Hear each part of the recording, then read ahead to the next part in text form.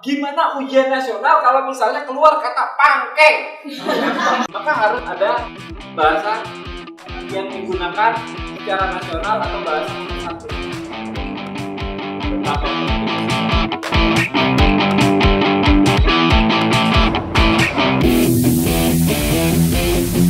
Kita kalah dari nol ya.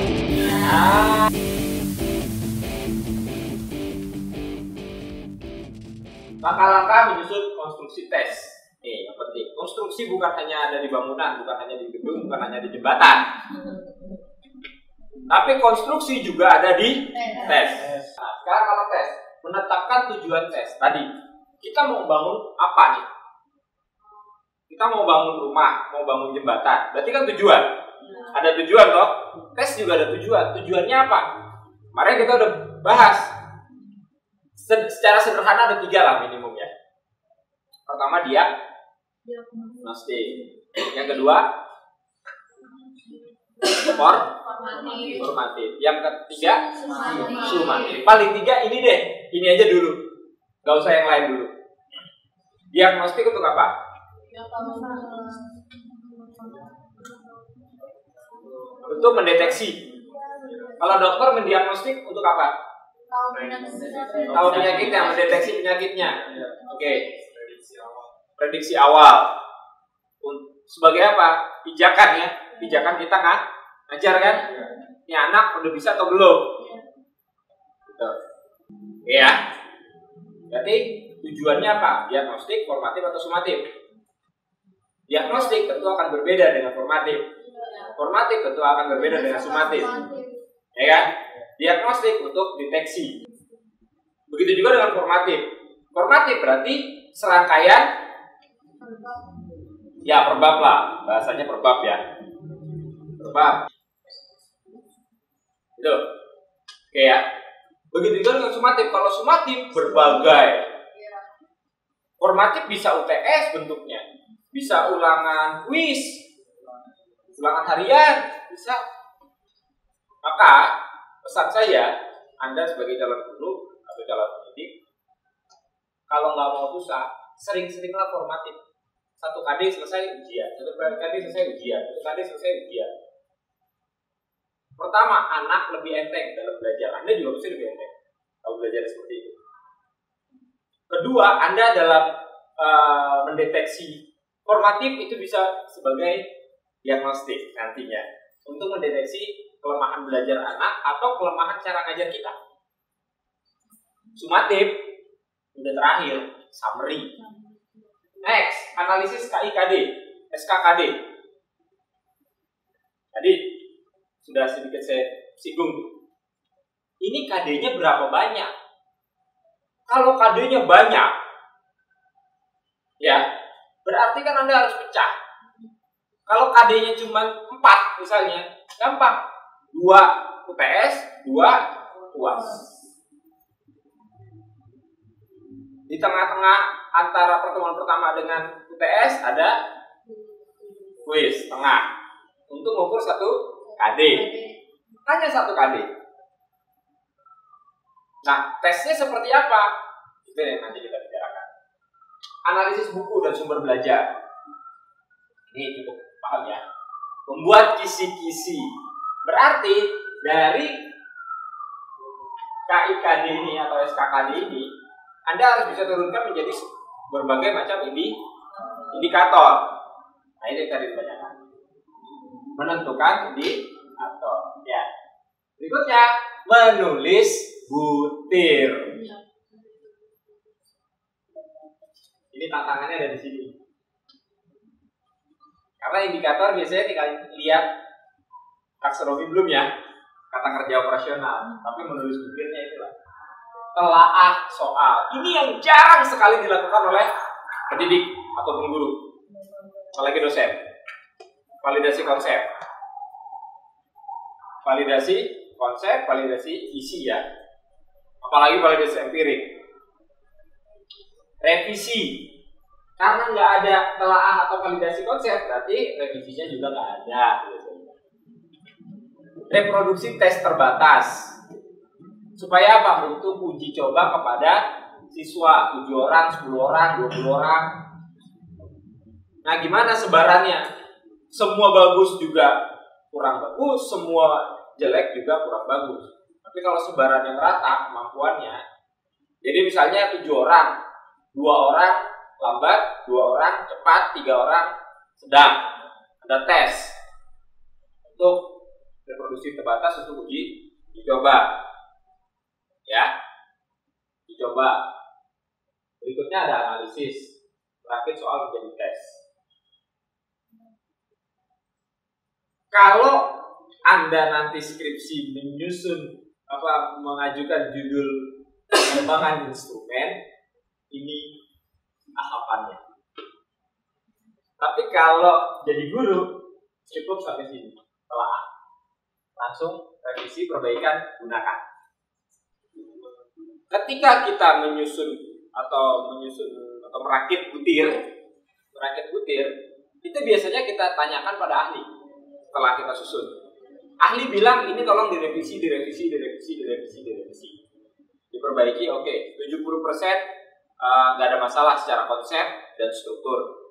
Nah, 30% masalah. Masalah kita perbaiki sama-sama. Kita perbaiki sama-sama, kemudian kita validasi lagi ke dia. Oke, biasanya yang kedua itu lebih cepat. Yang pertama yang agak lama. Bisa makan waktu tiga hari sampai seminggu. Tapi ketika sudah kita revisi, karena udah tahu kan kelemahannya di mana, sama dia biasanya cuma 2-3 jam oke okay, gak ada masalah pakai itulah yang biasa kita gunakan untuk ulangan umum bersama UB atau UTS bersama satu ruang lingkup tuh tapi nggak ada itu pun sebenarnya harusnya sudah otomatis berjalan karena apa? Karena guru itu tergabung dalam MGMP. Kalau sekolahnya kecil, kalau sekolahnya besar, guru matematikanya banyak, Ya dia aja cukup satu sekolah. Ya. Oke. Soal itu direvisi. Ya. Revisi karena ada masalah. Nah, masalahnya itu karena soal itu susah atau soal itu nggak masuk akal itu kayak apa? Problemnya. Iya. Oke, berarti ini lanjut kita ke materi berikutnya. Bisa jadi masalah-masalahnya itu terkait ini. Soal harus sesuai indikator. Soalnya ke utara, indikatornya ke selatan. Jadi soal harus menanyakan perilaku materi yang hendak diukur sesuai dengan rumusan indikator dalam kisi-kisi. Kalau standarnya tinggi, tingkat kesulitannya harus rendah. Kalau standarnya rendah, tingkat kesulitannya harus Oke, Contoh, saya kasih KKM-nya 85. Soalnya seperti ini dan kawan-kawan. Kira-kira achieve nggak anak-anak? Sulit. Kecuali yang memang belajarnya cepat-cepat semua. Tapi bisa dikatakan, bisa diprediksi, bisa diprediksi. Nggak akan lebih dari 30%. Karena apa? KKM-nya tinggi. Kalau KKM-nya tinggi, soal soalnya udah tapi kalau yang seperti ini kasih aja KKM 65. Tuh. Tapi masalahnya kalau masa 65 rendah dong berarti standarnya. Oke, kita tinggi standarnya. Ini kan A ya, standar A ya. Ini standar berapa 65? C, standar C. Oke, sekolah dengan akreditasi A, KKM-nya 85. Iya, soalnya aja begini aja. Kenapa sih emang? kita mau bikin susah siswa atau kita mau bikin dia siswa itu cinta dengan subjeknya. Karena kalau udah cinta, cinta itu butuh pengorbanan. Pasti dia mau berkorban. Waktu, tenaga, pikiran, ya lah. Kadang kita ini sebagai guru nih, Mas saya lah, Anda kan baru calon guru ya. Saya lah, saya, saya. Saya kadang-kadang gitu kan Iya iya. Oke. Reflek reflek. Jadi agak-agak terlalu semangat gitu kan. Saya kadang-kadang melihat ini. Standarnya berapa? 55. 55. 55 saya kasih saya kasih soal yang sulit seperti ini semua juga anak-anak pasti lulus. Tapi kan perkaranya bukan standar Universitas 55 C-min plus di atas C-min ya atau C lah. Tapi kan perkaranya apa? Perkaranya di luar Anda tuh dilihat IP mesti 3,6 kan? Nonton Sila on Seven aja kan mesti IP di atas 3,6 Itu nonton Sila on Seven loh Belum bersaing di dunia kerja gitu loh Ya. Next. Pengecer harus berfungsi. Pengecer harus berfungsi. Artinya ABC-nya harus homogen. Harus apa? Homogen itu kalau dua digit ya dua digit semua. Kalau uh, berasal dari satu tempat, misalnya uh, pada ekosistem air tawar, ya kan? ekosistem air tawar. Manakah di bawah ini yang merupakan anggotanya? Kecuali kecuali air tawar, kecuali Anda masukkan misalnya elang, habis itu harimau, kan nggak homogen. Nggak homogen, yang homogen. Misalnya ada ada ikan, ada ular, ular apa out katak, ya kan? Apalagi ya itu itik itu kan se, se, se, se apa namanya homogen lah, serumpun gitu. Atau buaya gitu ya. kan itu air tawar juga. Buaya itu. Udah nil itu kan. Mana udah nil? Itu ya. Oke. Itu kan homogen. Nah itu yang bisa menjawab. Setiap soal harus punya satu jawaban benar. Karena apa? Kalau jawabannya dua itu buat bingung. Kalau nggak ada jawabannya itu zolim. Loh, zolim? Coba bayangkan, bayangkan nih, bayangkan dulu. Soal diferensial, nyarinya panjang, dy sama per dx sama dengan eh, dx ya, dy per dx sama dengan akar x kan? plus 3x kuadrat plus 5x pangkat 3 berapa? y aksennya gitu kan? Berapa f x-nya? Pilihan ganda. Udah nyarinya lama, nggak ada jawabannya. Waktu habis, tenaga habis, bete. Tingkat tingkat stresnya kan deh langsung langsung apa namanya ketika ketemu jawabannya terus di pilihan nggak ada cari lagi. Iya. Bimbang Pak. Bimbang. Siapa? Yakin gue. Bukannya belum belum belum baca jawabannya udah tahu belum belum, belum baca soalnya udah tahu jawaban. Aduh. Tapi itu berarti bagus itu. Jadi Anda nyari ya. Nyari dengan dengan buku coret-coretan Anda atau buku coret-coretan kawan Anda. Yang berikutnya konstruksi kalau ini kan materi, secara positif. Ya, mungkin saya boleh nanya, Pak. Boleh. Saya mau jawab. Misalnya yang standar tadi ya Pak, yang tingkat kesulitannya Pak. Iya. Misalnya ada dua mata pelajaran itu uh, buat SMK kayak kayu sama kons apa konsbang Pak. Iya. Misalnya standarnya kalau kayu itu rendah targetnya berarti kayak maksudnya nanti kan beda gitu pak nanti kalau di nilai rapotnya itu untuk penyamaannya nilainya gimana? Seperti gimana? Uh, misalnya nih standarnya sama contohnya kayak mata kuliah kemarin nih pak oh, jangan mata kuliah oh, iya. ada mata pelajaran mata pelajaran uh, dia misalnya nilai tiga udah lulus pak. Oke. Okay. kalau uh, kayu misalnya mata mata pelajaran lain tujuh baru lulus. Berarti kan itu nanti penyesuaiannya untuk ya. hasilnya. Lulus ini tujuh ini lulus. nah nanti misalnya di rapot dia tiga juga apa yang disamain gitu sama nilai itu pentingnya penilaian artinya dari pengukuran. Ini pengukuran ya?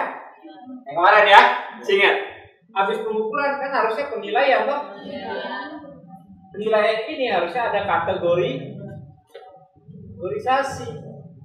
Tiga di sini sudah lulus boleh jadi yang penting empat artinya dia B. Tujuh di sini boleh jadi yang tertinggi skornya 10 artinya dia B min kan? 7 ya? B min. Yang ini udah B plus ini pentingnya dari pengukuran harus ada kategorisasi melalui penilaian. Sehingga kalau bahasa mek-meknya ada apa? Ada interpolasi ya? Ya ada interpolasi. Bahasa mek-meknya gitu lah ada interpolasi. Walaupun kurang tepat juga sih interpolasi. Tapi penyamaan standar. Penyamaan standar. Masa kalah sama Pertamina mulai dari nol ya? Nah. Itu maksudnya ada kalibrasi ada penyamaan standar oke next. Kita udah paham ya? Pokok soal harus dirumuskan secara jelas dan tegas. Jangan bermakna am, ambigu. Artinya kemampuan materi yang hendak diukur ditanyakan harus jelas, tidak menimbulkan penafsiran atau pengertian yang berbeda dengan yang dimaksud penulis dan hanya mengandung satu persoalan untuk setiap nomor. Gimana? sama gitu konsepsinya yang ngertiin soal sama yang bikin soal Belum tentu sama persepsinya Nah, ini yang paling penting nih. Kita nanti masuk ke arah ranah bahasa. Oh, terkait materi konstruksi bahasa ter terkait. Gimana menyamakan bahwa yang dimaksud sama penulis itu sama dengan yang dimaksud oleh pembaca atau pesertanya?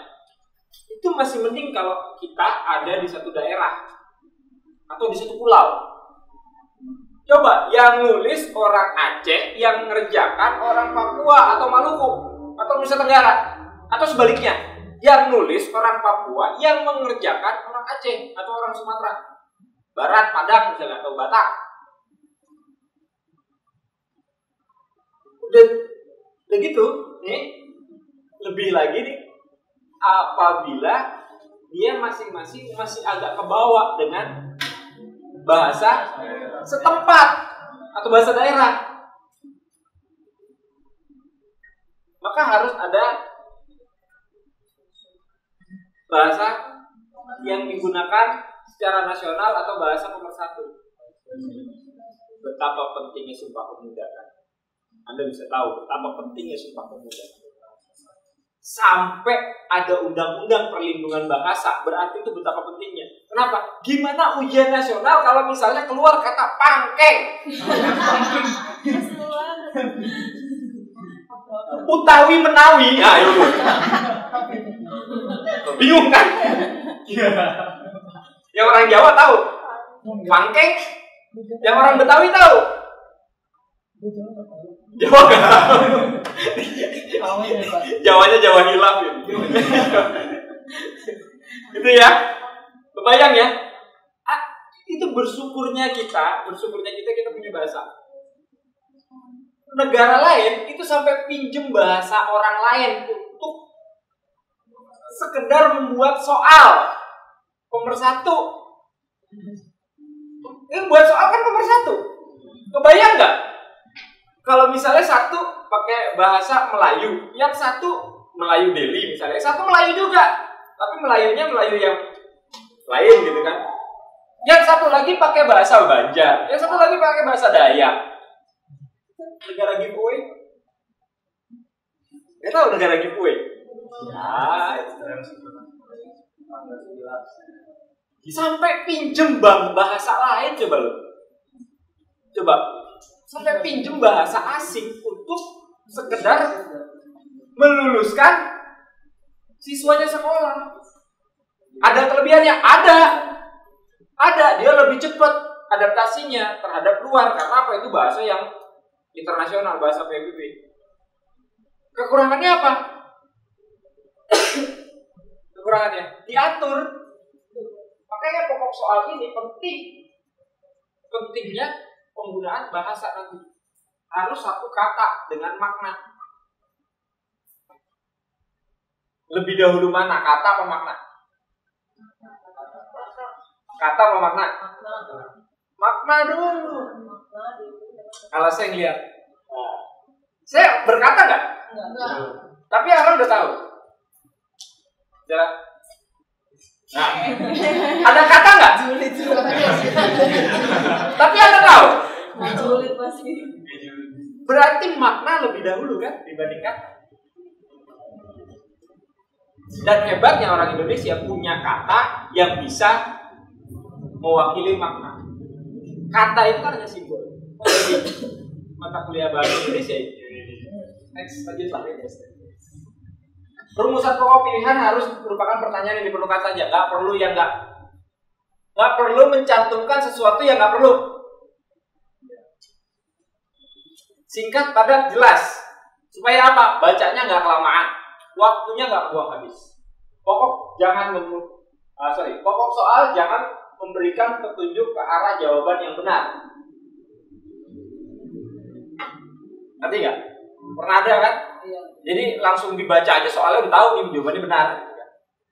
Nah, contohnya ada di ada di uh, materi yang saya. Pokok soal jangan mengandung pernyataan negatif ganda yang bukan. Yang bukan. Uh, apa namanya? Yang bukan partai politik di Indonesia adalah kecuali gitu kan? atau yang bukan bahan bangunan kecuali udah bukan kecuali lagi. Yang jelas dong ya ya enggak enggak. Jangan nah iya iya yang enggak. Enggak yo yo yo next. Pilihan jawaban harus mungkin dan logis. Tadi ya udah ya mungkin dan logis. Panjang rumusan pilihan ganda harus relatif sama. Kalaupun nggak sama ya begini dikit lah boleh lah gitu ya. Ini A ini ini B ini ini C ini ini D misalnya ini. Ya nggak apa-apa lah. Kalau PKI yang paling banyak. nah, PKN yang paling banyak. Nah ini itu. Sama sama PNS PNS juga dikiranya yang paling panjang itu yang paling benar padahal belum tentu. Tes kepribadian? Tes kepribadian itu yang paling mendekati anda, profil Anda sebagai ASN itulah ya. Nah, sama dengan PKN.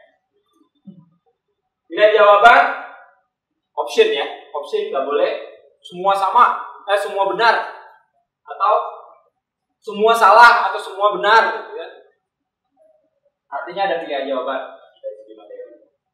Pilihan jawaban berbentuk angka disusun dari kecil sampai besar, besar ke kecil. Gitu. Daftar grafik harus berfungsi. Jangan useless. Harus benar-benar kepake. Kalau nggak kepake, buat apa ada gambar? Dan ingat, ada perintah. Perintah apa? Berdasarkan tabel di atas, atau lihatlah gambar di bawah ini. Anda seru, perintah. Lihatlah baru di bawahnya berdasarkan gambar di atas, tunjukkan, ya kan? Tunjukkan di mana letak uh, rangka atap, gitu misalnya. Kan ada ada, ada gambar. Butir, ya, di buku paket banyak tuh yang soalnya kayak negatif ganda. ya, Terus itu emang nggak ada ada telah revisi.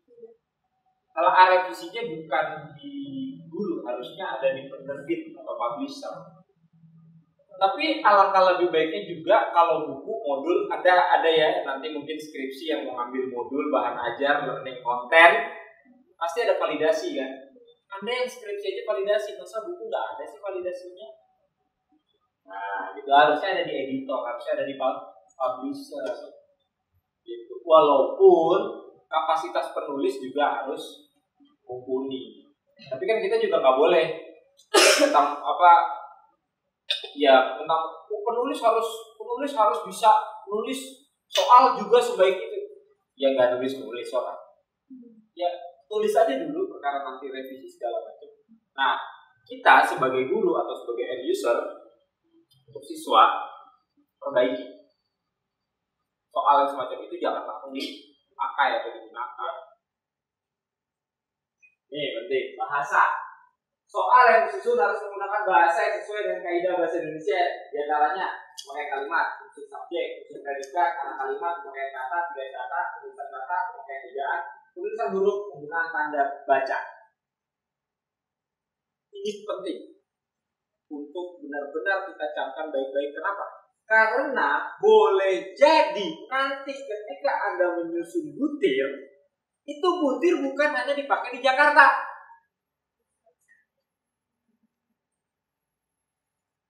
bisa jadi dipakai di Kalimantan, di Sulawesi.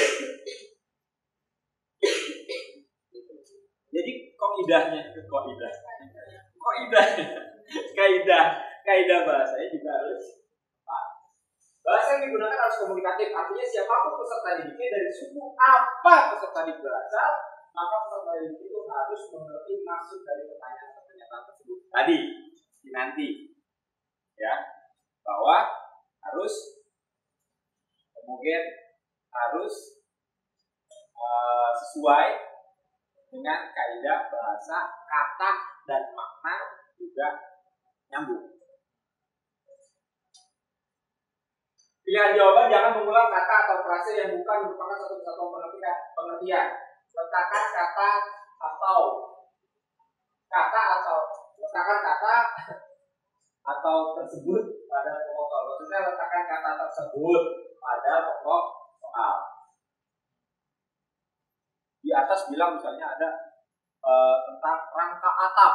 Terus pilihan jawabannya juga ada rangka atap, rangka atap, rangka atap. Kenapa enggak rangka atapnya sudah rapel di atas atau yang digunakan di atas? Itulah yang dimaksud untuk pilihan jawab jawaban. Tapi di sini ada yang bertanya kan?